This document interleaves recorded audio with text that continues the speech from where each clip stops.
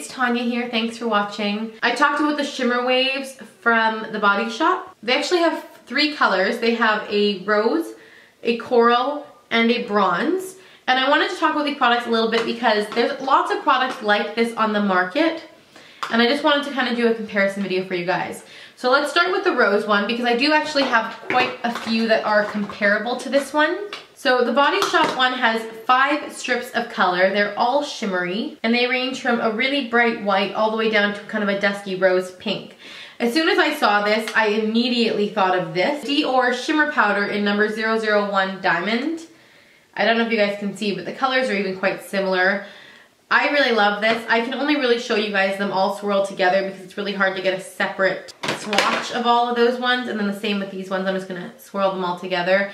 You guys can see they're not identical. The Body Shop one almost comes off a little more coral and the Dior one is like a little more of a blue tone pink, but they're quite similar. I would say if you have one of these, you most definitely don't need both. They're similar enough that you could probably get the same effect. You can use these beautifully as an eyeshadow, as a blush or as an all-around face product. They are very shimmery. As you can see, they've added quite a bit of shimmer to my cheek already. They are very, very, very shimmery, much like the Dior ones, but they're beautifully pigmented. You can use these all as separate colors. Of course, it's not as easy to get them to all be separate.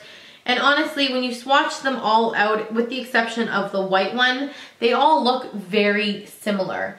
So I would recommend using this more as like an overall cheek product unless you want to use that white as an inner corner highlight, that may work. As far as staying powder power goes, I've been wearing the coral one for a couple days now just trying it out. I would say these give you about six to eight hours of that shimmery glow and then it does start to fade. But they do the color itself not the shimmer but the actual color lasts a good 10 hours before I've noticed a fade. I didn't get that long of a wear out of my Dior ones. I found that the shimmer faded a lot sooner. So that's one thing to consider the other palette I have that's a lot like this is the is the Physicians Formula Custom Blush and Highlighter Shimmer Strips in Rosy Glow. This one is very close to it too, but the purple or the, the deeper colors on the, on the Physicians Formula are way deeper. This is way more wearable than this one. Now Bobbi Brown also makes one of these in rose and I would say that one is quite similar. I've kind of compared the colors online and that one is probably the most like this one that I've seen. And an honorable mention, just kind of as a shout out, because I think it, the colors are quite similar, is the Nude Wear from Physicians Formula. This was limited edition. These definitely are brighter tones, but they don't come off as bright in the swatch. And this one is a little bit more powdery. So if I had to choose between the two, I would probably take the Body Shop still. So overall, I'm really enjoying the rose one. Now, they also have a coral one, which is the one I've been wearing all week because I've been loving corals right now. This is gorgeous. I love the colors of this.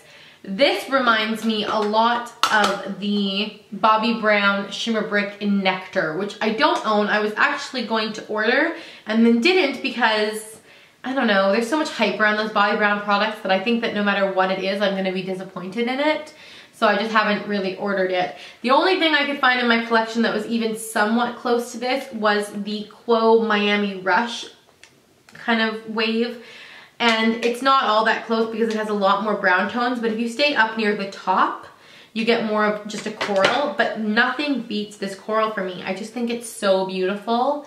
Look at that. It's so shimmery and so pretty. It's what I've been wearing.